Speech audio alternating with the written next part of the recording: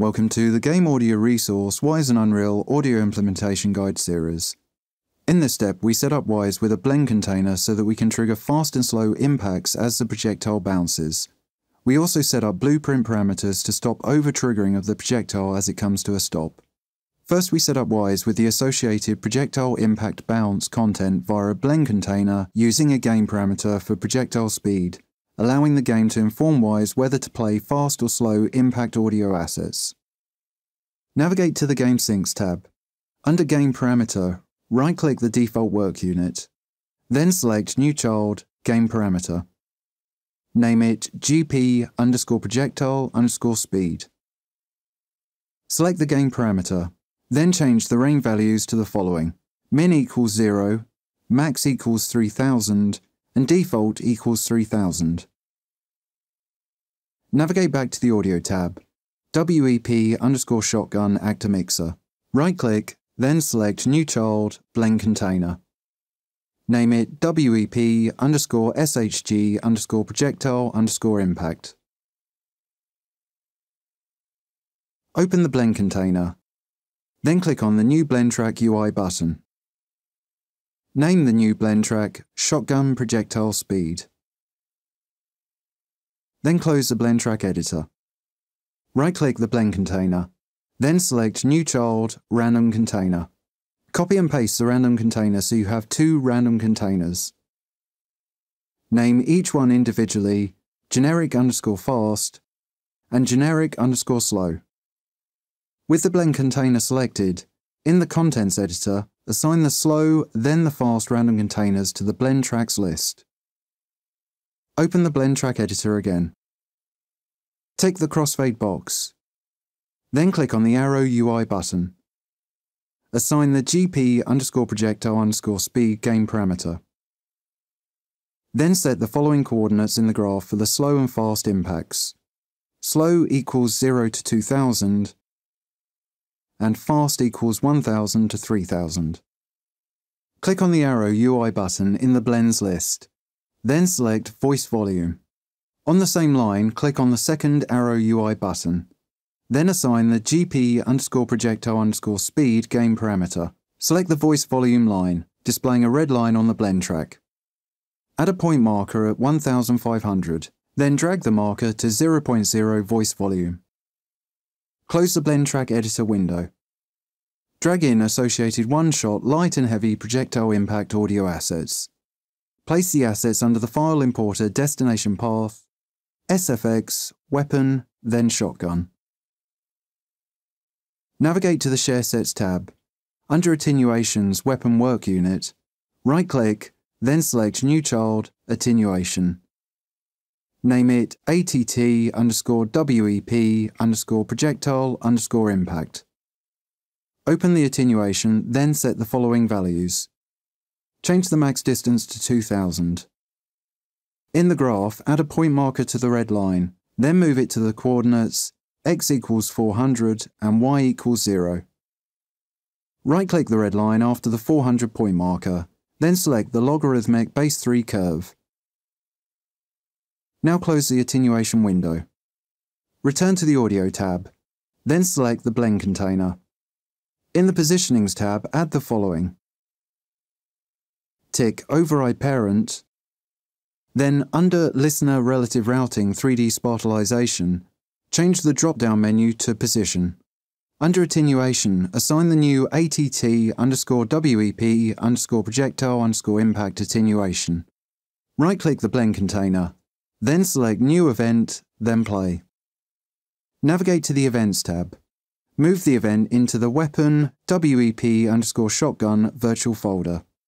Rename the event to sfx underscore wep underscore shg underscore projectile underscore impact. Save the Wwise project updates and generate the sound banks. Then check the weapon sound bank includes the new projectile impact content.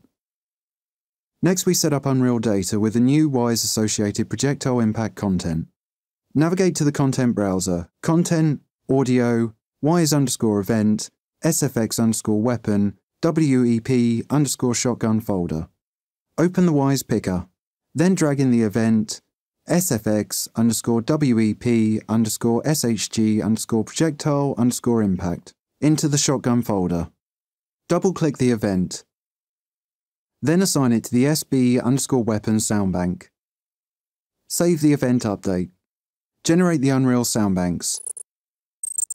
Then import the updated soundbank content. Next we set up the first person underscore projectile blueprint nodes with the Wwise variables we have implemented. In the main toolbar, select the Blueprint drop-down menu. Then under Open Blueprint class, scroll to the bottom of the list, then select the Blueprint first person underscore projectile. In the Components tab, right-click the collision component, then select Add Event, Add On-Hit Component, adding the new event to the graph. Right-click the graph, then in the search box type Branch. Selecting it adds it to the graph. Right-click the graph, then in the search box type Get Velocity. Selecting it adds it to the graph. Right-click the graph, then in the search box type Vector Length. Selecting it adds it to the graph. Right-click the graph, then in the search box type Float greater than Float. Selecting it adds it to the graph. Connect the following nodes together. On component hit event to branch node. Get velocity node to vector length node. Vector length node to float greater than float node top input. In the float node value box, change the value to 250. Then finally float greater than float node to branch node condition input. Right-click the graph, then in the search box type Set RTPC value. Selecting it adds it to the graph. In the Set RTPC value node, RTPC box, add the Wwise game parameter name GP underscore projectile underscore speed. This must match the Wwise game parameter name exactly. Right-click the graph, then in the search box type Post Event at Location. Selecting it adds it to the graph. In the post event at location node, AK event box, set the event as sfx underscore wep underscore shg underscore projectile underscore impact. Then connect the following nodes together. Branch node true output to set RTPC value node. Set RTPC value node to post event location node. Get actor location node to post event location node location input. Then finally, vector length node to set RTPC value, value input. Mouse drag a box around the nodes we have added. Then press C on your keyboard. Name the comment box SFX Projectile Impact and Bounce RTPC event. Save and compile the blueprint updates. We can now test our updates in-game. Connect Wwise to Unreal. Solo the projectile impact blend container. Change to the Wwise layout profiler. Filter the capture log by the projectile impact content. Then play the map. Fire the gun at a surface allowing the projectile to bounce off multiple surfaces.